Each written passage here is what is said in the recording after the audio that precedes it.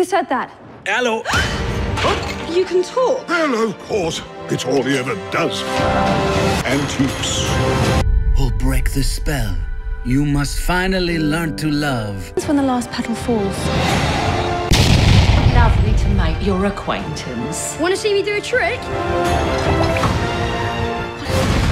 What did you do to it? Nothing. Get out of here!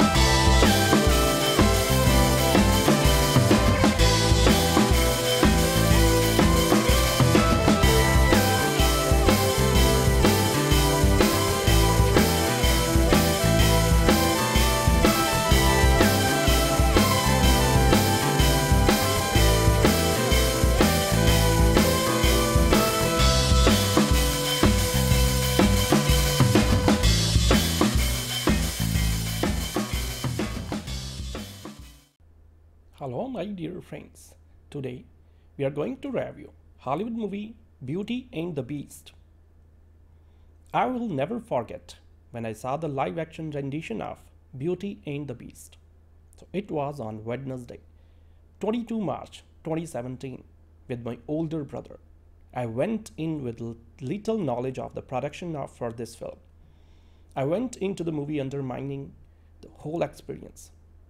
The entire film was nostalgic for the moment it began to the very ending act. The live action Beauty and the Beast is a unique experience because the movie added scenes from two source materials. As we are all familiar with, the first source material is the animated film Beauty and the Beast. However, the second source is less known. Gabrielle Suzanne Barbot de Villeneuve's original Beauty and the Beast. So it was so simply done, yet the magic of the film felt incredibly real. The musical numbers were astounding in their effect, so it often left the viewer entirely in awe with the spectacularly dazzling scenes and eye-catching moments. In particular, my favorite numbers were Be Our Guest and Gaston. So it was such a wind-swept journey that, that I can't imagine anyone not seeing this film. Now, to weigh in both the excellent pros and the still evident cons. To begin, Beauty and the Beast did a fantastic job of being a contemporary piece regarding how life was like in 18th century France. Another clear aspect of the film that they did wonderfully was that most actors and actresses theatrically inclined. Understandably so, it felt like a proper harkening back for the play version of Beauty and the Beast on Broadway. So one of the movie's best qualities was its prominent soundtrack over the voiceover of actors singing. At times, I truly fell into the movie realm of Beauty and the Beast forgetting momentary that I was even watching a motion picture. Overall, the casting felt incredibly perfect. Now, to address the cons of this movie, the cons are actually few and far between, but they are there nevertheless. Like everything else in life, no work of art is ever without imperfection. So this is because every single person in the world interprets the same thing in a slightly different manner. So the first con is that Emma Watson was cast for the leading role. Now, I know what some of you are thinking as you read listen this. Emma Watson has an image that can appeal to the mainstream public, understandably so. Emma Watson was fantastic in Harry Potter franchise as a Hermione Granger. But we are talking about Beauty and the Beast here. So my gripe with this line of thinking is twofold. The first layer is that Disney didn't feel confident enough in the source material itself. Beauty and the Beast and all of the history that goes along with it clearly wouldn't be enough for people to see it so let alone having the Disney logo slapped onto the film, which I think we can all agree would have brought tension to the project either way. Don't forget, in this day and age where social media exists and the spread of news by word, word of mouth moves quickly through social spheres, this movie would have been a massive success from the start. So not to mention that this film was produced to Disney, it should be a no-brainer that this movie would have been a hit. But instead, Disney's only purpose for adding Emma Watson in the lead role was a break whatever record needed breaking for the box office. So in a sense, like everything else it seems in life. So this was solely for money purposes. It's a shame because Creativity takes a backseat in our modern culture almost every single time. The second problem is that they incorporated at an LGBTQIA plus theme in this movie. So it really didn't need to be added. I placed problems in code because it really isn't an issue for me or most movie enthusiasts who watch this new iteration of Beauty and the Beast but as a storyteller and writer myself. This presents a strange twist to the pre existing timeline of the franchise's history. So, put another way, let's imagine Harry Potter and Ronald Weasley as J.K. Rowling has written the original storyline. Harry and Ron have been best friends since childhood. They have moments of laughter, hardships, tears, reuniting, and understanding. So it's a heartwarming friendship that touches on the importance of friendship and sacrifices you sometimes have to make for your friends. So a decade later, imagine that Harry Potter is remade by a large movie making conglomerate studio. But this time, Harry has a secret crush on Ron. Again, of course, there is nothing wrong with this fact or scenario. But what is a bit strange is how the original story of a tightly formed friendship has now turned into a different story. Harry Potter would have a small sub storyline of one friend being romantically in love with his best friend. So, again, nothing wrong with this. The issue is that it's taking a hard left from the source material. Thus, the original is a now altered dramatically who and what each of us loves is no joke and should not be taken lightly. As, as these vast movie making conglomerates have shown us, however, is that they historically make a caricature of the LGBTIA plus community. So this invariably creates confusion in some audience members who remember the story being told one way. So, but now they have made a considerable change to the original storyline. So only new viewers will enjoy this new hypothetical Harry Potter movie series. So it's a clear message from the film creators that any older viewers who enjoy the original version of Beauty and the Beast should just forget about the consistency of previous creations. Unfortunately, the creator alienated older viewers of this new Beauty and the Beast iteration to tell a new story to the younger audience members of the Beauty and the Beast franchise. After the movie was over, my brother actually made me realize the slightly slight issue of the scene. So in a way, I would have overlooked this old otherwise Hollywood-esque move made by mainstream Hollywood. But he said in a way, it felt like Disney altered the source material just to be seen as relevant and with the times. It was as if Disney merely added a new material for the sake of saving face facing, not for honoring the original work created by Gabrielle Suzanne Barbot de Villeneuve. So, woman who has had died, who had written this successful story in her time in 18th century France, Villeneuve did the utterly and nearly impossible. Her story was quickly shared throughout the world and was critically acclaimed. In addition, her book was adapted promptly into theatrical plays. Mind you, this was during a time when women were genuinely oppressed in society. So this was when women remained silent and were good wives, mothers, and community members.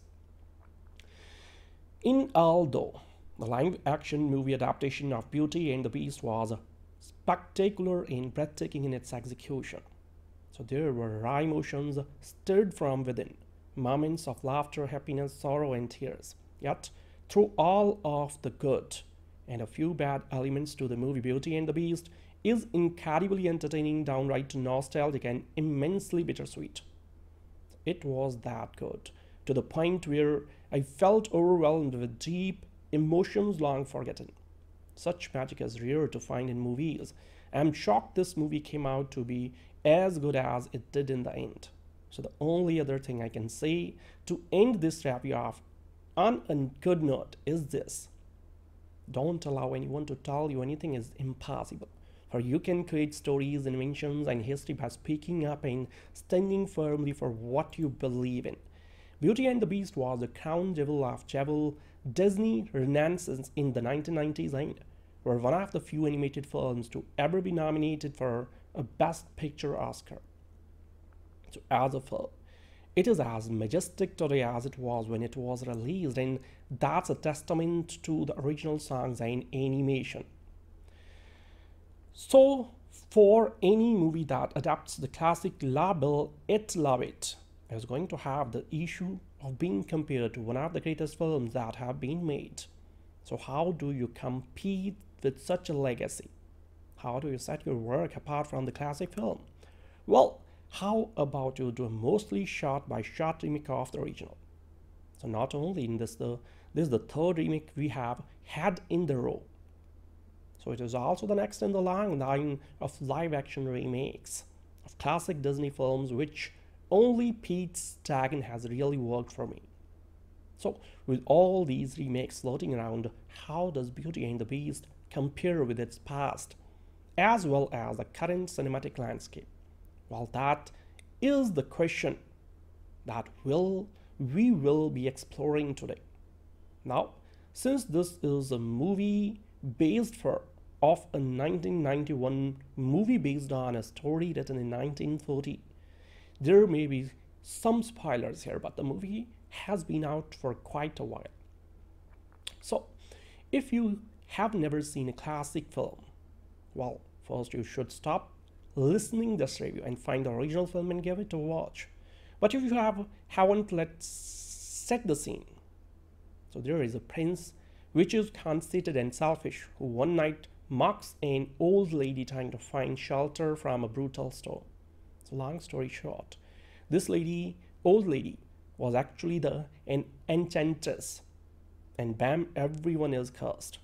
You get a curse, you get a curse, you all get a curse, and the prince is turned into the beast. So the curse is only broken if the beast finds true love. And if he doesn't find true love, by the time the last petal of the rose falls, he will be a beast forever. So we have a ticking clock counting down to oblivion, motivating everyone. A whole staff turned into furniture, a moody beast, a castle. Everyone in the town forgot existed and Belly. Father Maurice just got lost in the forest and has stumbled upon something he shouldn't have. So there is a reason this story is a classic, as it has a really compelling story. The narrative moves at a fast pace, and it is filled with interesting characters, and the live-action adaptation takes all of those facets and runs with them. Now, one of the areas I was really concerned with, with was the casting. So this is because whether you like it or not, you go into the film with certain preconceptions of what the theaters should be based off the animated film. However, ever since Heath Ledger in The Dark Knight, I have learned to try and withhold judgment until I see the final film and wow, does all the cast step, step up to the challenge. So Emma Watson was wonderful as Belle. She brings the right a bout of joyful energy and also the determination that is needed to pull off one of cinema's classic characters. So my big concern was that Luke Evans would not be able to do Gaston justice because it is such a big character to try fill. But he really makes it work. Gaston is obnoxious and yet also realistic. So which is a difficult balance to get right. I also have to say I quite liked that Josh Gad brought to the character of LeFou. It's difficult to give a character like that nuance, but he achieved it. So the supporting cast was who was turned into furniture by the curse is both animated well, but also voiced impeccably. Sure, at the start it is odd not to hear Angela Lansbury as Mrs. Potts, but after a while it's Emma Thompson's performance really grew on me.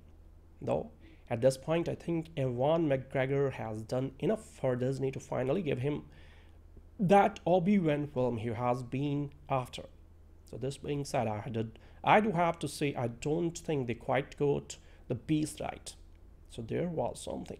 There that just didn't click with me. And I can't tell you if that was animation or the cutting, but something felt off. So one area where Beauty and the Beast excels as is the production design. I didn't think they would be able to recreate the grandeur of the original, but they really did. So the sets for the castle were wonderfully detailed and felt like a real place. And this continues on to the village, which I I'm not sure if this was a set of filmed on location, but either way, it was stunning. So design of the furniture characters in one area where I think Beauty and the Beast did well updating and changing from the original film. How's they feel different yet still stylistically interesting. The visual effects were all quite good. So the wider shots of the castle and the grounds were integrated really well with the live action elements. However, one area where I think I didn't quite work as well was a couple of times the CGI backgrounds look like bit fake. For example, at the end of Belle, the opening song, where we get introduced to the town Belle in Gaston, it ends with Belle running up a hill outside the town, spinning around while singing. I'm sure it was meant to evoke that classic sound of music moment. But instead of being on a hill in the country somewhere in England where they shot the film, it's clear that Emma Watson is standing on a set or green screen room, and it just does not work as well as it could have. Now, of course, we can't talk about Beauty and the Beast without talking about the music and songs. And once again, Beauty and the Beast really hits the nail on the head with its adaptation. Not only have they doubled down on the musical elements here, in many respects, they have made Beauty and the Beast more of a musical than the original. There is added songs and the classics have been filmed in a way that is reminiscent of movies like Les Miserables, so which gives it a different energy, but it's still really good. So when I have talked to my friends who have seen the film and I asked them which song was their favorite, it's a good sign that there is a lot of variety in their answers. So for some, it's Belle, other, Be My Guest. So others is Gaston and so on. For those playing at home, my money is on Belle. So the best thing I can say about the songs is I have spent the time since I was film humming the tunes in my head. Like any good musical, they have warmed their way in. Now, with any movie adaptation of another movie, especially of a classic film like Beautiful Beauty and the Beast, you need to show why your film is different enough to justify people going to see it when they could just watch the classic. So this is why I like Pete's Dragon more than the Jungle Book because it took the story and told something new with it, while the Jungle Book just went back over old territory. Now, this is an area where the new Beauty and the Beast both excels and also falls down a little. So one area that I really liked was that they took a bit more time to clarify things at the start of the film. In the original animated film, the Enchantress cursed a 13-year-old for not letting an old lady into his castle so which is a bit dodgy once you start thinking about it so here they actually go out of their way to not only show that the prince is old enough to know better but that he is also a real that kind of deserved it as well as this the ending is really brutal.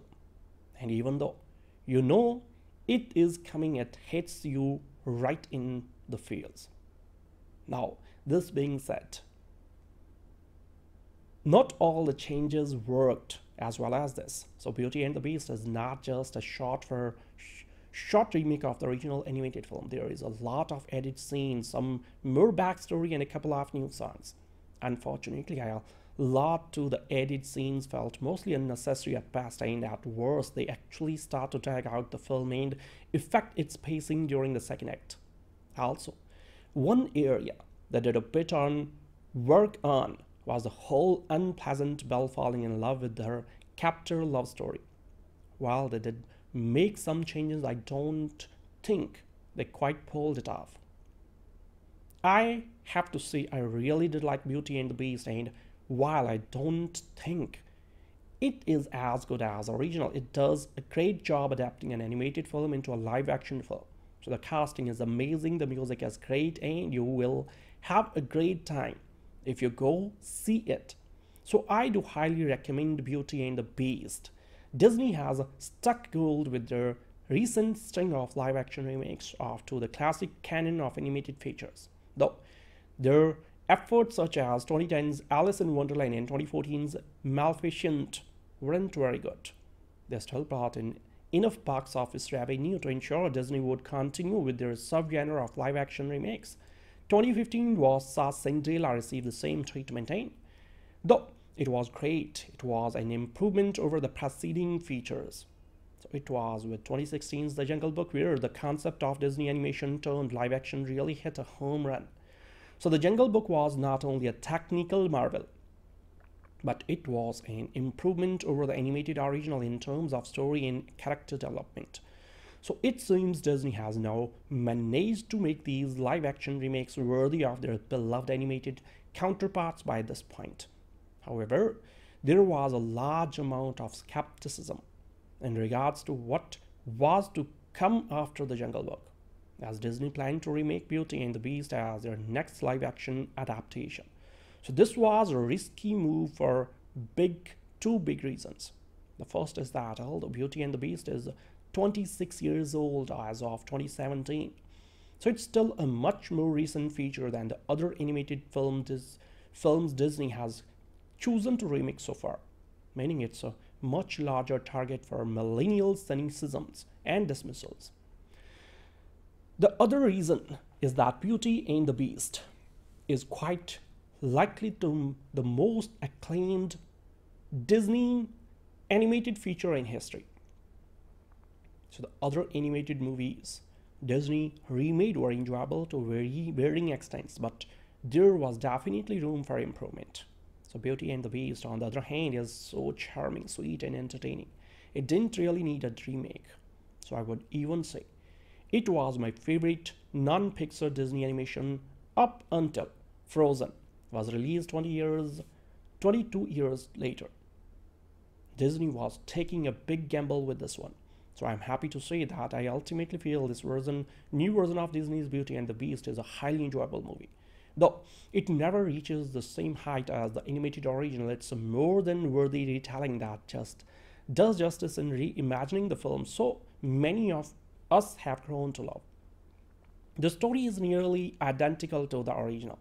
A young prince is vain and selfish and is punished for his way by an enchantress, enchantress who places a spell on the prince that transforms him into a beast and the staff in his castle become anthropomorphic objects. So the only way for the prince to break the spell on himself and his staff is to learn to love another and to earn their love in return. Some years later, in a small village not so far removed from this castle, a young woman named Belle lives with her tinker father, Maurice. So Belle doesn't fit in with the rest of the village, being a well educated bookworm in a town filled with more simple, mean minded people, such as the brutish Gaston, an accomplished hunter and the most respected man in town due to his good looks, who is obsessed with making Belle his wife. So one day, Maurice gets lost in the forest on his way to the market and ends up becoming the prisoner of the castle ruled by the prince's, prince turned beast. So Belle goes to rescue her father and ends up taking his palace place as the beast's prisoner. Sorry. From there, Belle befriends the members of the castle's staff such as Lumiere, who has been transformed into a candlestick, Cogsworth, who has become a clock, and Mrs. Potts, who has become a teapot. The castle's staff believes Belle could be the one to break their curse, but winning the beast's affection is easier said than done. The, so the story is lifted almost directly from the animated film. That's probably for the best, but there are some slight changes to certain scenes in an attempt to add more to them or make them fit more into the ever so slightly different tone. So some of these changes are fine. Others, however, can feel a little bit like padding with the most notable example being a largely out of place flashback to Belle's childhood. So which details the tragic events involving her mother and why Maurice has raised her alone. I don't want to sound too hard on the scene because in terms of emotion, it does a solid job. and actually adds a bit to this version take on Maurice' character. But it also happens at kind of a random moment. And the method in which the film gets us there feels kind of shoehorned. With that said, that said, the film as a whole does retain much of the animated original charms. The iconic and musical numbers such as Belle, Gaston, Be Our Guest, the titular Beauty and the Beast, and the mob song are all here, with most of the cast providing solid recreations of these classics. Emma Watson does sound a little auto-tuned, so which is a little distracting as she is the main character, but the songs are so great it's hard to be too critical. So there are also a few additional songs added in this version and though they are unlikely to become an as immortal as a returning song, they still make for some great music sequence musical sequences. So the best of the new batch were probably Days in the Sun and Evermore. So the later of which rectifies one of the few questionable omissions from the original by giving the beast his own solo number. The film also follows in the footsteps of the Jungle Book by being an absolute marvel to look at. So the CG used to create the beast and his transformed staff is impressive.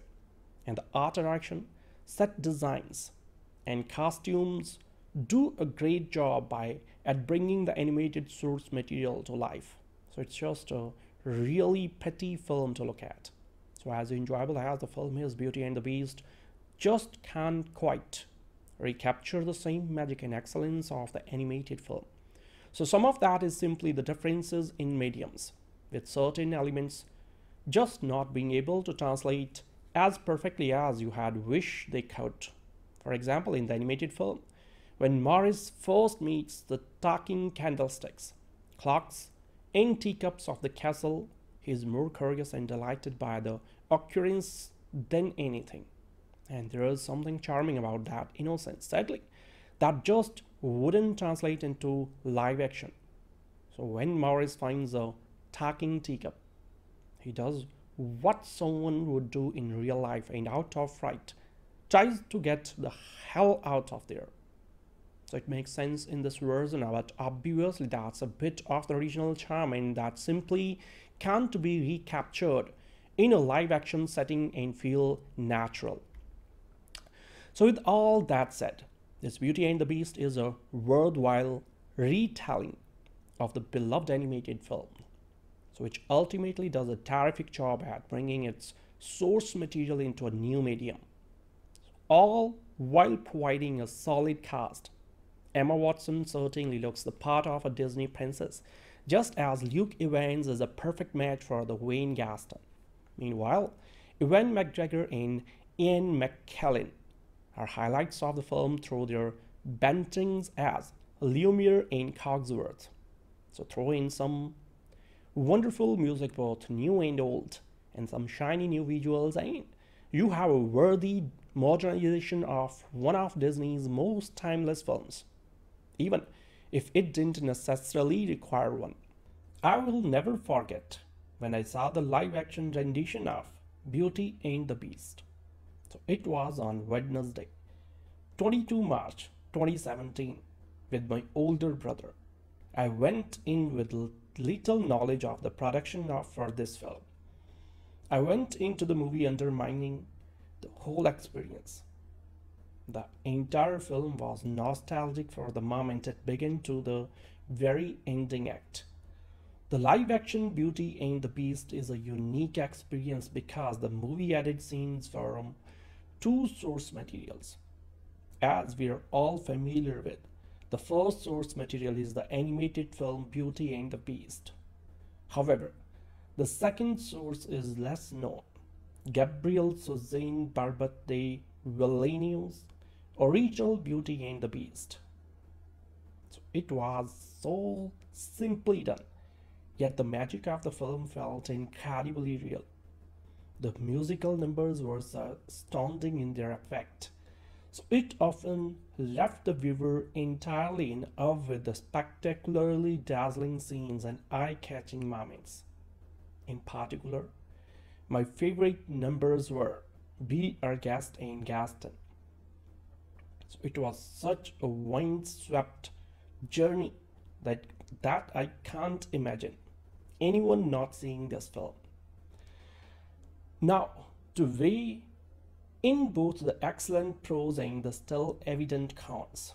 To begin, Beauty and the Beast did a fantastic job of being a contemporary piece regarding how life was like in 18th century France. Another clear aspect of the film that they did wonderfully was that most actors and actresses theatrically inclined. Understandably so, it felt like a proper harkening back for the play version of Beauty and the Beast on Broadway. So one of the movie's best qualities was its prominent soundtrack over the voiceover of actors singing. At times, I truly fell into the movie realm of Beauty and the Beast forgetting momentary that I was even watching a motion picture. Overall, the casting felt incredibly perfect. Now, to address the cons of this movie, the cons are actually few and far between, but they are there nevertheless. Like everything else in life, no work of art is ever without imperfection. So, this is because every single person in the world interprets the same thing in a slightly different manner. So, the first con is that Emma Watson was cast for the leading role. Now, I know what some of you are thinking as you read, listen this. Emma Watson has an image that can appeal to the mainstream public, understandably so. Emma Watson was fantastic in Harry Potter franchise as a Hermione Granger. But we are talking about Beauty and the Beast here. So my gripe with this line of thinking is twofold. The first layer is that Disney didn't feel confident enough in the source material itself, Beauty and the Beast, and all of the history that goes along with it clearly wouldn't be enough for people to see it. So let alone having the Disney logo slapped onto the film, which I think we can all agree would have brought tension to the project either way. Don't forget, in this day and age where social media exists and the spread of news by word, word of mouth moves quickly through social spheres, this movie would have been a massive success from the start. So not to mention that this film was produced to Disney, it should be a no-brainer that this movie would have been a hit. But instead, Disney's only purpose for adding Emma Watson in the lead role was a break whatever record needed breaking for the box office. So in a sense, like everything else that seems in life. So this was solely for money purposes. It's a shame because creativity takes a backseat in our modern culture almost every single time. The second problem is that they incorporated at an LGBTQIA plus theme in this movie. So where it really didn't need to be added. I placed problems in code because it really isn't an issue for me or most movie enthusiasts who watch this new iteration of Beauty and the Beast, but as a storyteller and writer myself. This presents a strange twist to the pre-existing timeline of the franchise's history. So put another way, let's imagine Harry Potter and Ronald Weasley as J.K. Rowling has written the original storyline. Harry and Ron have been best friends since childhood. They have moments of laughter, hardships, tears, reuniting, and understanding. So it's a heartwarming friendship that touches on the importance of friendship and sacrifices you sometimes have to make for your friends. So a decade later, imagine that Harry Potter is remade by a large movie making conglomerate studio. But this time, Harry has a secret crush on Ron. Again, of course, there is nothing wrong with this fact or scenario. But what is a bit strange is how the original story of a tightly formed friendship has now turned into a different story. Harry Potter would have a small sub storyline of one friend being romantically in love with the, his best friend. So, again, nothing wrong with this. The issue is that it's taking a hard left from the source material. Thus, the original is a now altered dramatically. Who and what each of us loves a no joke and should not be taken lightly. As, as these vast movie making conglomerates have shown us, however, is that they historically make a caricature of the LGBTIA plus community. So this invariably creates confusion in some audience members who remember the story being told one way. So, but now they have made a considerable change to the original storyline, so only new viewers will enjoy this new hypothetical Harry Potter movie series. So it's a clear message from the film creators that any older viewers who enjoy the original version of Beauty and the Beast should just forget about the consistency of previous creations. Unfortunately, the creator alienated older viewers of this new Beauty and the Beast iteration to tell a new story to the younger audience members of the Beauty and the Beast franchise. After the movie was over, my brother actually made me realize the slightly slight issue of the scene. So in a way, I would have overlooked this old otherwise Hollywood-esque move made by mainstream Hollywood. But he said in a way, it felt like Disney altered the source material just to be seen as relevant and with the times. So it was as if Disney merely added a new material for the sake of saving face facing, not for honoring the original work created by Gabrielle Suzanne Barbot de Villeneuve. So woman who has had died who had written this successful story in her time in 18th century France. Villeneuve did the utterly and nearly impossible. Her story was quickly shared throughout the world and was critically acclaimed. In addition, her book was adapted promptly into theatrical plays. Mind you, this was during a time when women were genuinely oppressed in society. So this was when women remained silent and were good wives, mothers, and community members. In although the live action movie adaptation of Beauty and the Beast was spectacular and breathtaking in its execution. So there were raw emotions stirred from within, moments of laughter, happiness, sorrow, and tears. Yet, through all of the good, and a few bad elements to the movie Beauty and the Beast is incredibly entertaining, downright nostalgic, and immensely bittersweet. It was that good, to the point where I felt overwhelmed with deep emotions long forgotten. Such magic is rare to find in movies. I'm shocked this movie came out to be as good as it did in the end.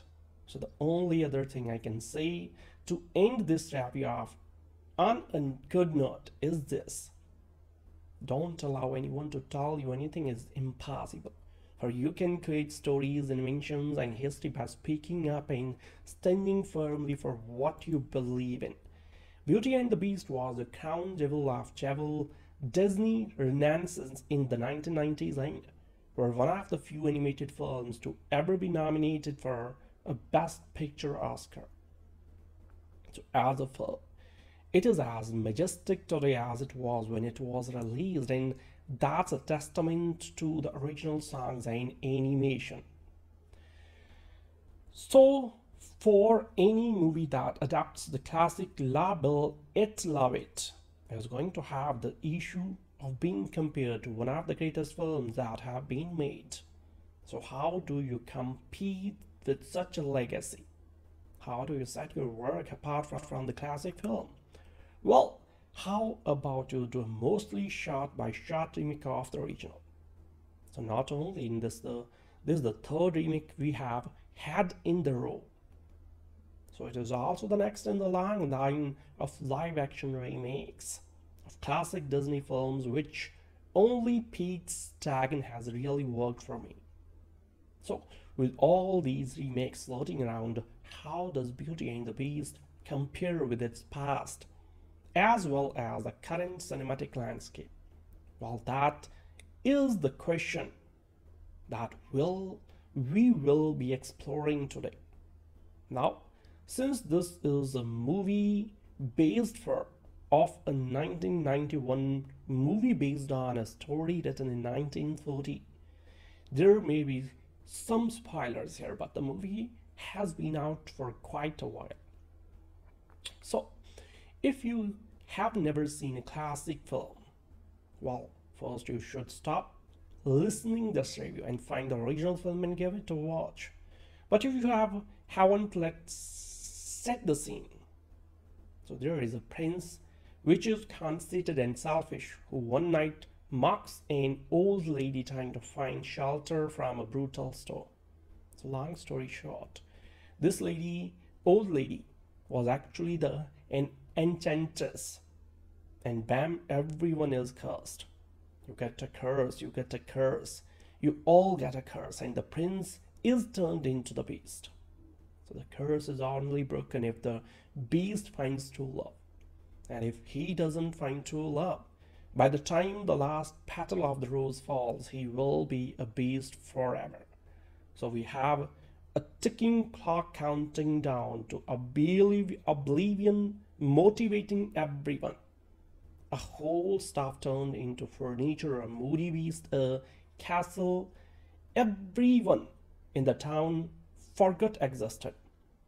And Belly, Father Maurice, just got lost in the forest and has stumbled upon something he shouldn't have. So there is a reason this story is a classic, as it has a really compelling story. The narrative moves at a fast pace, and it is filled with interesting characters, and the live-action adaptation takes all of those facets and runs with them. Now, one of the areas I was really concerned with, with was the casting. So this is because whether you like it or not, you go into the film with certain preconceptions of what the theaters should be based off the animated film. However, ever since Heath Ledger in The Dark Knight, I have learned to try and withhold judgment until I see the final film and wow, does all the cast step, step up to the challenge. So Emma Watson was wonderful as Belle. She brings the right amount of joyful energy and also the determination that is needed to pull off one of cinema's classic characters. So my big concern was that Luke Evans would not be able to do Gaston justice because it is such a big character to try fill. But he really makes it work. Gaston is obnoxious and yet also realistic so which is a difficult balance to get right. I also have to say I quite liked that Josh Gad brought to the character of LeFou. It's difficult to give a character like that nuance, but he achieved it. So the supporting cast was who was turned into furniture by the curse is both animated well, but also voiced impeccably. Sure, at the start, it is odd not to hear Angela Lansbury as Mrs. Potts, but after a while, it's Emma Thompson's performance really grew on me. Though, at this point, I think Ewan McGregor has done enough for Disney to finally give him that Obi-Wan film he has been after. So this being said, I did I do have to say I don't think they quite got the beast right. So there was something. There that just didn't click with me. And I can't tell you if that was animation or the cutting, but something felt off. So one area where Beauty and the Beast excels as is the production design. I didn't think they would be able to recreate the grandeur of the original, but they really did. So the sets for the castle were wonderfully detailed and felt like a real place. And this continues on to the village, which I am not sure if this was a set of filmed on location, but either way, it was stunning. So design of the furniture characters in one area where I think Beauty and the Beast did well updating and changing from the original film. How's they feel different yet still stylistically interesting. The visual effects were all quite good. So the wider shots of the castle and the grounds were integrated really well with the live action elements. However, one area where I think I didn't quite work as well was a couple of times the CGI backgrounds look like bit fake. For example, at the end of Belle, the opening song, where we get introduced to the town Belle in Gaston, it ends with Belle running up a hill outside the town, spinning around while singing. I'm sure it was meant to evoke that classic sound of music moment. But instead of being on a hill in the country somewhere in England, where they shot the film, it's clear that Emma Watson is standing on a set or green screen room, and it just does not work as well as it could have. Now, of course, we can't talk about Beauty and the Beast without talking about the music and songs. And once again, Beauty and the Beast really hits the nail on the head with its adaptation. Not only have they doubled down on the musical elements here, in many respects, they have made Beauty and the Beast more of a musical than the original. There is added songs and the classics have been filmed in a way that is reminiscent of movies like Les Miserables, which gives it a different energy, but it's still really good. So when I have talked to my friends who have seen the film and I asked them which song was their favorite, it's a good sign that there is a lot of variety in their answers. For some, it's Belle, other, Be My Guest, others is Gaston and so on. For those playing at home, my money is on Belle. So the best thing I can say about the songs is I have spent the time since I was film humming the tunes in my head. For like any good musical, they have wound their way in. Now, with any movie adaptation of another movie, especially of a classic film like Beautiful Beauty and the Beast, you need to show why your film is different enough to justify people going to see it when they could just watch the classic. So this is why I like Pete's Dragon more than the Jungle Book because it took the story and told something new with it, while the Jungle Book just went back over old territory. Now, this is an area where the new Beauty and the Beast both excels and also falls down a little. So one area that I really liked was that they took a bit more time to clarify things at the start of the film. In the original animated film, the Enchantress cursed a 13-year-old for not letting an old lady into his castle, so which is a bit dodgy once you start thinking about it. So here they actually go out of their way to not only show that the prince is old enough to know better, but that he is also a real that kind of deserved it. As well as this, the ending is really brutal. And even though you know it is coming, it hits you right in the feels. Now, this being said, not all the changes worked as well as this. So Beauty and the Beast is not just a short for short remake of the original animated film. There is a lot of edit scenes, some more backstory, and a couple of new songs. Unfortunately, a lot to the edit scenes felt mostly unnecessary at best, and at worst, they actually start to drag out the film and affect its pacing during the second act. Also, one area that did a bit on work on was the whole unpleasant Belle falling in love with her captor love story. While they did make some changes, I don't think they quite pulled it off. I have to say, I really did like Beauty and the Beast, and while I don't think it is as good as original, it does a great job adapting an animated film into a live action film.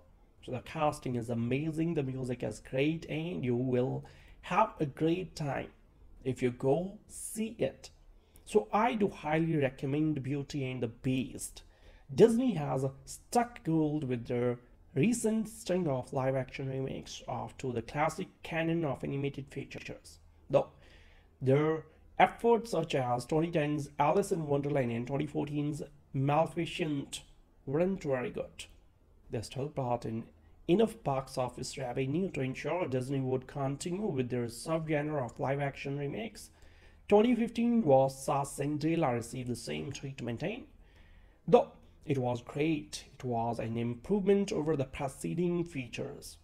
So it was with 2016's The Jungle Book where the concept of Disney animation turned live action really hit a home run. So The Jungle Book was not only a technical marvel, but it was an improvement over the animated original in terms of story and character development. So it seems Disney has now managed to make these live action remakes worthy of their beloved animated counterparts by this point. However, there was a large amount of skepticism in regards to what was to come after the Jungle Book as Disney planned to remake Beauty and the Beast as their next live action adaptation. So this was a risky move for big two big reasons. The first is that although Beauty and the Beast is 26 years old as of 2017, so it's still a much more recent feature than the other animated film dis films Disney has chosen to remake so far, meaning it's a much larger target for millennial cynicisms and dismissals. The other reason is that Beauty and the Beast is quite likely to the most acclaimed Disney animated feature in history. So the other animated movies Disney remade were enjoyable to very varying extents, but there was definitely room for improvement. So Beauty and the Beast, on the other hand, is so charming, sweet, and entertaining. It didn't really need a remake. So I would even say it was my favorite non-Pixar Disney animation up until Frozen was released 20 years, 22 years later. Disney was taking a big gamble with this one. So I'm happy to say that I ultimately feel this version, new version of Disney's Beauty and the Beast is a highly enjoyable movie. Though it never reaches the same height as the animated original, it's a more than worthy retelling that just does justice in reimagining the film so many of us have grown to love. The story is nearly identical to the original. A young prince is vain and selfish and is punished for his way by an enchantress, enchantress who places a spell on the prince that transforms him into a beast and the staff in his castle become anthropomorphic objects. So the only way for the prince to break the spell on himself and his staff is to learn to love another and to earn their love in return. Some years later, in a small village not so far removed from this castle, a young woman named Belle lives with her tinker father, Maurice. So Belle doesn't fit in with the rest of the village. Being a well-educated bookworm in a town filled with more simple, mean-minded people, such as the brutish Gaston, an accomplished hunter, and the most respected man in town due to his good looks, who is obsessed with making Belle his wife. So one day, Maurice gets lost in the forest on his way to the market and ends up becoming the prisoner of the castle ruled by the prince's prince-turned beast. So Belle goes to rescue her father and ends up taking his palace place as the beast's prisoner. Sorry. From there, Belle befriends the members of the castle staff such as Lumiere, who has been transformed into a candlestick, Cogsworth, who has become a clock, and Mrs. Potts, who has become a teapot. The castle staff believes Belle could be the one to break their curse, but winning the beast's affection is easier said than done. The, so the story is lifted almost directly from the animated film. That's probably for the best, but there are some slight changes to certain scenes in an attempt to add more to them or make them fit more into the ever so slightly different tone. So some of these changes are fine. Others, however, can feel a little bit like padding with the most notable example being a largely out of place flashback to Belle's childhood. So which details the tragic events involving her mother and why Maurice has raised her alone. I don't want to sound too hard on the scene because in terms of emotion, it does a solid job and actually adds a bit to this version take on Maurice's character. But it also happens at kind of a random moment. And the method in which the film gets us there feels kind of shoehorned. But that said, that said, the film as a whole does retain much of the animated original charms. The iconic and musical numbers such as Belle Gaston, Be Our Guest, the titular Beauty and the Beast, and the mob song are all here, with most of the cast providing solid recreations of these classics. Emma Watson does sound a little auto-tuned, so which is a little distracting as she is the main character, but the songs are so great it's hard to be too critical. So there are also a few additional songs added in this version and though they are unlikely to become an as immortal as a returning song, they still make for some great music sequence musical sequences. So the best of the new batch were probably Days in the Sun and Evermore. So the later of which rectifies one of the few questionable omissions from the original by giving the beast his own solo number. The film also follows in the footsteps of the Jungle Book by being an absolute marvel to look at. So the CG used to create the beast and his transformed staff is impressive. And the art direction, set designs, and costumes do a great job by at bringing the animated source material to life. So it's just a really pretty film to look at. So as enjoyable as the film is, Beauty and the Beast just can't quite recapture the same magic and excellence of the animated film. So some of that is simply the differences in mediums, with certain elements just not being able to translate as perfectly as you had wished they could.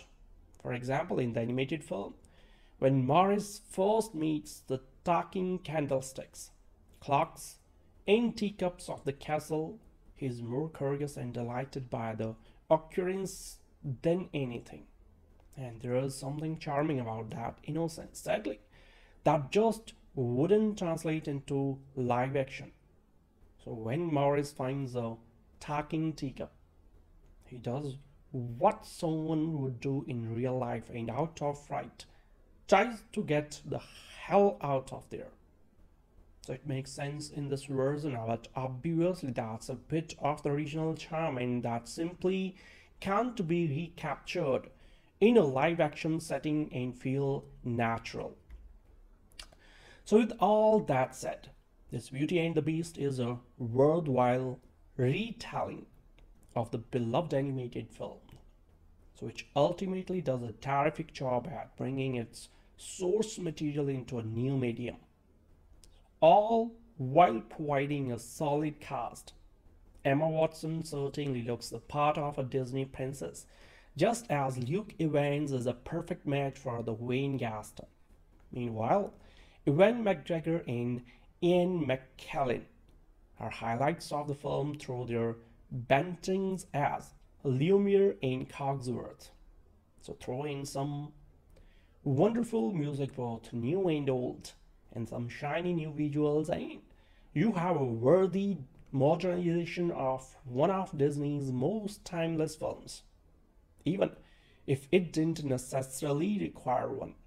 I will never forget when I saw the live action rendition of Beauty and the Beast. So it was on Wednesday, 22 March 2017, with my older brother. I went in with little knowledge of the production for this film. I went into the movie undermining the whole experience. The entire film was nostalgic for the moment it began to the very ending act. The live action Beauty and the Beast is a unique experience because the movie added scenes from two source materials. As we are all familiar with, the first source material is the animated film Beauty and the Beast. However, the second source is less known. Gabrielle Suzanne Barbot de Villeneuve's original Beauty and the Beast. So it was so simply done, yet the magic of the film felt incredibly real. The musical numbers were astounding in their effect, so it often left the viewer entirely in awe with the spectacularly dazzling scenes and eye-catching moments. In particular, my favorite numbers were Be Our Guest and Gaston. So it was such a wind-swept journey that, that I can't imagine anyone not seeing this film. Now, to weigh in both the excellent pros and the still evident cons. To begin, Beauty and the Beast did a fantastic job of being a contemporary piece regarding how life was like in 18th century France. Another clear aspect of the film that they did wonderfully was that most actors and actresses theatrically inclined. Understandably so, it felt like a proper harkening back for the play version of Beauty and the Beast on Broadway. So one of the movie's best qualities was its prominent soundtrack over the voiceover of actors singing at times. I truly fell into the movie realm of Beauty and the Beast forgetting my momentary that I was even watching a motion picture. Overall, the casting felt incredibly perfect. Now, to address the cons of this movie, the cons are actually few and far between, but they are there nevertheless. Like everything else in life, no work of art is ever without imperfection. So this is because every single person in the world interprets the same thing in a slightly different manner. So the first con is that Emma Watson was cast for the leading role. Now, I know what some of you are thinking as you read, listen this. Emma Watson has an image that can appeal to the mainstream public, understandably so. Emma Watson was fantastic in Harry Potter franchise as a Hermione Granger. But we are talking about Beauty and the Beast here. So my gripe with this line of thinking is twofold. The first layer is that Disney didn't feel confident enough in the source material itself. Beauty and the Beast and all of the history that goes along with it clearly wouldn't be enough for people to see it. So let alone having the Disney logo slapped onto the film which I think we can all agree would have brought tension to the project either way. Don't forget, in this day and age where social media exists and the spread of news by word, of mouth moves quickly through social spheres, this movie would have been a massive success from the start. So not to mention that this film was produced to Disney, it should be a no-brainer that this movie would have been a hit. But instead, Disney's only purpose for adding Emma Watson in the lead role was a break whatever record needed breaking for the box office. So in a sense, like everything else it seems in life. So this was solely for money purposes. It's a shame because creativity takes a backseat in our modern culture almost every single time. The second problem is that they incorporated at an LGBTQIA plus theme in this movie. So it really didn't need to be added. I placed problems in code because it really isn't an issue for me or most movie enthusiasts who watch this new iteration of Beauty and the Beast, but as a storyteller and writer myself. This presents a strange twist to the pre-existing timeline of the franchise's history. So, put another way, let's imagine Harry Potter and Ronald Weasley as J.K. Rowling has written the original storyline. Harry and Ron have been best friends since childhood. They have moments of laughter, hardships, tears, reuniting, and understanding. So it's a heartwarming friendship that touches on the importance of friendship and sacrifices you sometimes have to make for your friends. So a decade later, imagine that Harry Potter is remade by a large movie-making conglomerate studio. But this time, Harry has a secret crush on Ron. Again, of course, there is nothing wrong with this fact or scenario. But what is a bit strange is how the original story of a tightly formed friendship has now turned into a different story. Harry Potter would have a small sub-storyline of one friend being romantically in love with his best friend. So again, nothing wrong with this. The issue is that it's taking a hard left from the source material. Thus, the original is a now altered dramatically. Who and what each of us loves is no joke and should not be taken lightly. As, as these vast movie-making conglomerates have shown us, however, is that they historically make a caricature of the LGBTIA plus community. So this invariably creates confusion in some audience members who remember the story being told one way. So, but now they have made a considerable change to the original storyline. So only new viewers will enjoy this new hypothetical Harry Potter movie series. So it's a clear message from the film creators that any older viewers who enjoy the original version of Beauty and the Beast should just forget about the consistency of previous creations. Unfortunately, the creator alienated older viewers of this new Beauty and the Beast iteration to tell a new story to the younger audience members of the Beauty and the Beast franchise. After the movie was over, my brother actually made me realize the slightly slight issue of the scene. So in a way, I would have overlooked this old, otherwise Hollywood-esque move made by mainstream Hollywood. But he said in a way, it felt like Disney altered the source material just to be seen as relevant and with the times. So it was as if Disney merely added a new material for the sake of saving face facing, not for honoring the original work created by Gabrielle Suzanne Barbot de Villeneuve. So woman who has had died, who had written this successful story. In her time in 18th century France, Villeneuve did the utterly and nearly impossible. Her story was quickly shared throughout the world and was critically acclaimed. In addition, her book was adapted promptly into theatrical plays. Mind you, this was during a time when women were genuinely oppressed in society. So this was when women remained silent and were good wives, mothers, and community members. In Aldo, the live action movie adaptation of Beauty and the Beast was spectacular and breathtaking in its execution. So there were raw emotions stirred from within, moments of laughter, happiness, sorrow, and tears. Yet, through all of the good and a few bad elements to the movie Beauty and the Beast is incredibly entertaining, downright nostalgic, and immensely bittersweet. It was that good, to the point where I felt overwhelmed with deep emotions long forgotten.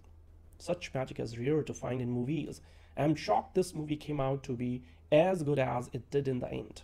So the only other thing I can say to end this review off on a good note is this. Don't allow anyone to tell you anything is impossible. For you can create stories, inventions, and history by speaking up and standing firmly for what you believe in. Beauty and the Beast was the crown jewel of jewel Disney Renaissance in the 1990s and were one of the few animated films to ever be nominated for a Best Picture Oscar. So as a film, it is as majestic today as it was when it was released, and that's a testament to the original songs and animation. So, for any movie that adapts the classic label, it love it is going to have the issue of being compared to one of the greatest films that have been made. So how do you compete with such a legacy? How do you set your work apart from the classic film? Well, how about you do a mostly shot by shot remake of the original? So not only in this, the, this is the third remake we have had in the row. So it is also the next in the long line of live action remakes of classic Disney films which only Pete's Dragon has really worked for me. So, with all these remakes floating around, how does Beauty and the Beast compare with its past, as well as the current cinematic landscape? Well, that is the question that will we will be exploring today.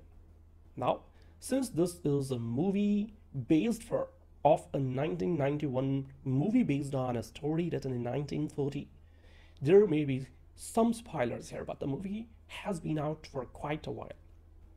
So, if you have never seen a classic film, well, first you should stop listening this review and find the original film and give it a watch. But if you have haven't, let's set the scene. So there is a prince which is conceited and selfish one night mocks an old lady trying to find shelter from a brutal storm. So long story short, this lady, old lady, was actually the an enchantress. And bam, everyone is cursed. You get a curse, you get a curse, you all get a curse, and the prince is turned into the beast. So the curse is only broken if the beast finds true love. And if he doesn't find true love, by the time the last petal of the rose falls, he will be a beast forever. So we have a ticking clock counting down to oblivion, motivating everyone. A whole staff turned into furniture, a moody beast, a castle. Everyone in the town forgot existed. And Belly. Father Maurice just got lost in the forest and has stumbled upon something he shouldn't have.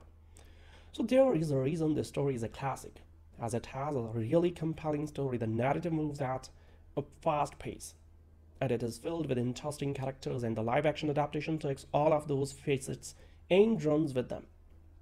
Now, one of the areas I was really concerned with, with was the casting.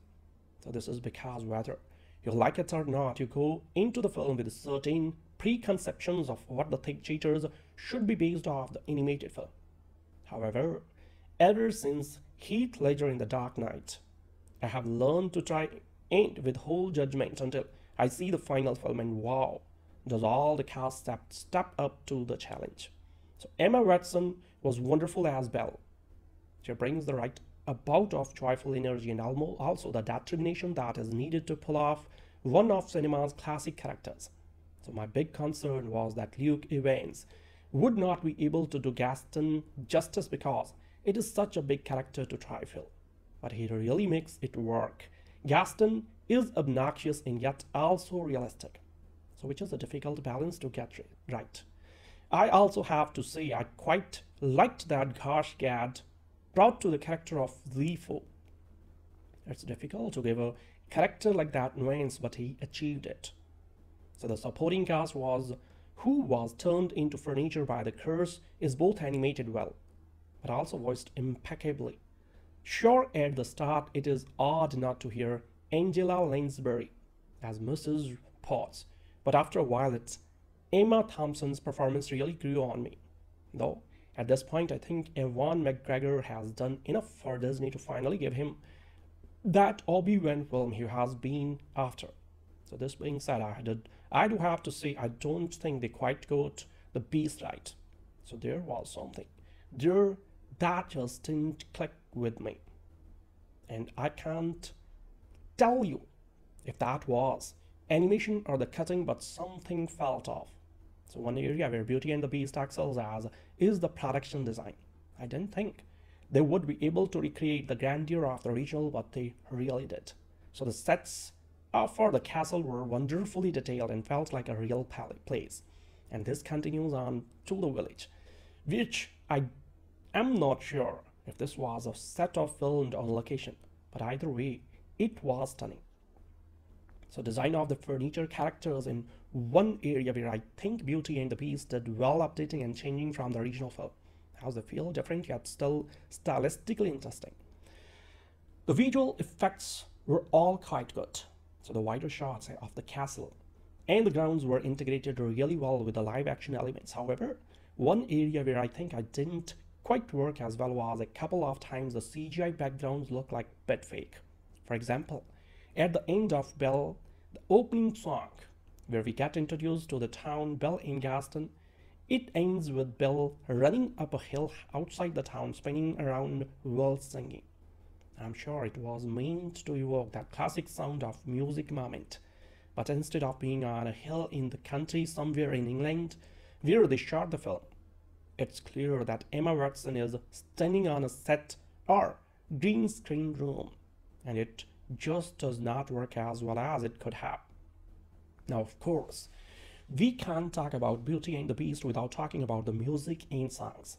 And once again, Beauty and the Beast really hits the nail on the head with its adaptation.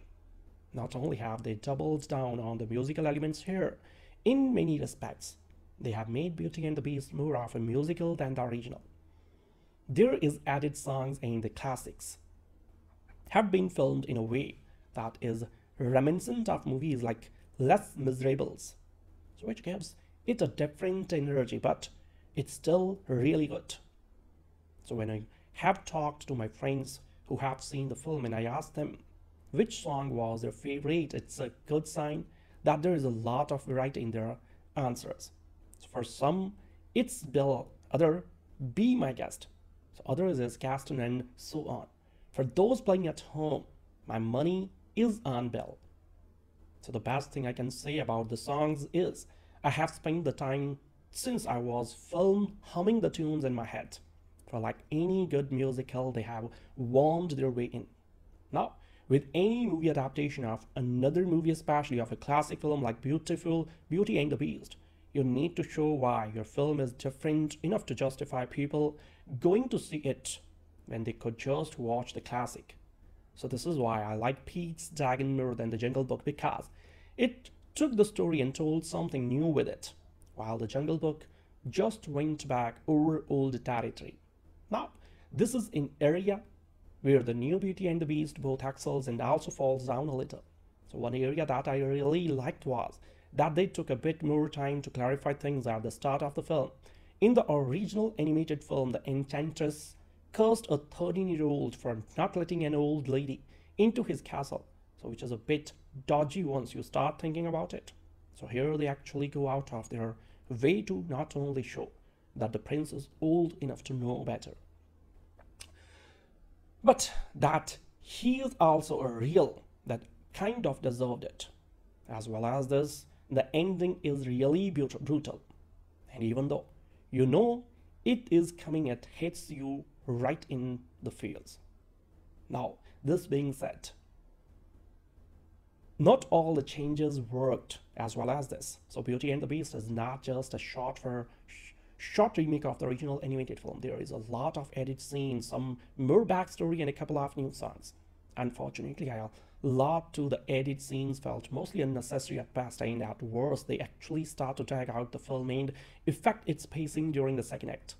Also, one area that did a bit on work on was the whole unpleasant Belle falling in love with her captor love story. While they did make some changes, I don't think they quite pulled it off. I have to say I really did like Beauty and the Beast and while I don't think it is as good as original, it does a great job adapting an animated film into a live action film. So the casting is amazing, the music is great and you will have a great time if you go see it. So I do highly recommend Beauty and the Beast. Disney has stuck gold with their recent string of live-action remakes of to the classic canon of animated features. Though their efforts such as 2010's Alice in Wonderland and 2014's Maleficent weren't very good. They still brought in enough box office revenue to ensure Disney would continue with their subgenre of live-action remakes. 2015 was saw Cinderella receive the same treatment and though it was great, it was an improvement over the preceding features. It was with 2016's The Jungle Book where the concept of Disney animation turned live action really hit a home run. So The Jungle Book was not only a technical marvel, but it was an improvement over the animated original in terms of story and character development. So it seems Disney has now managed to make these live action remakes worthy of their beloved animated counterparts by this point. However, there was a large amount of skepticism in regards to what was to come after The Jungle Book, as Disney planned to remake Beauty and the Beast as their next live-action adaptation. So this was a risky move for big two big reasons. The first is that although Beauty and the Beast is 26 years old as of 2017, so it's still a much more recent feature than the other animated film this films Disney has chosen to remake so far, meaning it's a much larger target for millennial cynicisms and dismissals. The other reason is that Beauty and the Beast is quite likely to the most acclaimed Disney animated feature in history. So the other animated movies Disney remade were enjoyable to very varying extents, but there was definitely room for improvement. So Beauty and the Beast, on the other hand, is so charming, sweet, and entertaining. It didn't really need a remake. So I would even say it was my favorite non-Pixar Disney animation up until Frozen was released 20 years, 22 years later. Disney was taking a big gamble with this one. So I'm happy to say that I ultimately feel this version, new version of Disney's Beauty and the Beast is a highly enjoyable movie. Though it never reaches the same height as the animated original, it's a more than worthy retelling that just does justice in reimagining the film so many of us have grown to love. The story is nearly identical to the original. A young prince is vain and selfish and is punished for his way by an enchantress, enchantress who places a spell on the prince that transforms him into a beast and the staff in his castle become anthropomorphic objects. So the only way for the prince to break the spell on himself and his staff is to learn to love another and to earn their love in return. Some years later, in a small village not so far removed from this castle, a young woman named Belle lives with her tinker father, Maurice. So Belle doesn't fit in with the rest of the village being a well-educated bookworm in a town filled with more simple, mean-minded people, such as the brutish Gaston, an accomplished hunter, and the most respected man in town due to his good looks, who is obsessed with making Belle his wife. So one day, Maurice gets lost in the forest on his way to the market and ends up becoming the prisoner of the castle ruled by the prince's prince-turned beast. So Belle goes to rescue her father and ends up taking his palace place as the beast's prisoner. Sorry. From there, Belle befriends the members of the castle's staff such as Lumiere, who has been transformed into a candlestick, Cogsworth, who has become a clock, and Mrs. Potts, who has become a teapot. The castle staff believes Belle could be the one to break their curse, but winning the beast's affection is easier said than done the so the story is lifted almost directly from the animated film. That's probably for the best, but there are some slight changes to certain scenes in an attempt to add more to them or make them fit more into the ever so slightly different tone. So some of these changes are fine. Others, however, can feel a little bit like padding with the most notable example being a largely out of place flashback to Belle's childhood so which details the tragic events involving her mother and why Maurice has raised her alone. I don't want to sound too hard on the scene because in terms of emotion, it does a solid job and actually adds a bit to this version take on Maurice's character. But it also happens at kind of a random moment.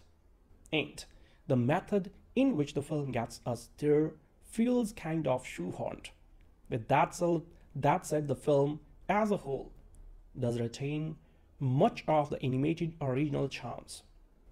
The iconic and musical numbers such as Belle, Gaston, Be Our Guest, the titular Beauty and the Beast, and the mob song are all here, with most of the cast providing solid recreations of these classics. Emma Watson does sound a little auto-tuned, so which is a little distracting as she is the main character but the songs are so great it's hard to be too critical. So there are also a few additional songs added in this version and though they are unlikely to become an, as immortal as a returning song, they still make for some great music sequence, musical sequences. So the best of the new batch were probably Days in the Sun and Evermore. So the later of which rectifies one of the few questionable omissions from the original by giving the beast his own solo number. The film also follows in the footsteps of the Jungle Book by being an absolute marvel to look at. So the CG used to create the beast and his transformed staff is impressive. And the art direction, set designs, and costumes do a great job by at bringing the animated source material to life. So it's just a really pretty film to look at. So as enjoyable as the film is, Beauty and the Beast just can't quite recapture the same magic and excellence of the animated film. So some of that is simply the differences in mediums, with certain elements just not being able to translate as perfectly as you had wished they could. For example, in the animated film, when Maurice first meets the talking candlesticks, clocks, and teacups of the castle, he is more curious and delighted by the occurrence than anything. And there is something charming about that innocence, sadly, that just wouldn't translate into live action. So when Maurice finds a talking teacup, he does what someone would do in real life and out of fright, tries to get the hell out of there. So it makes sense in this version, but obviously that's a bit of the original charm and that simply can't be recaptured in a live action setting and feel natural. So with all that said, this Beauty and the Beast is a worthwhile retelling of the beloved animated film, which ultimately does a terrific job at bringing its source material into a new medium, all while providing a solid cast.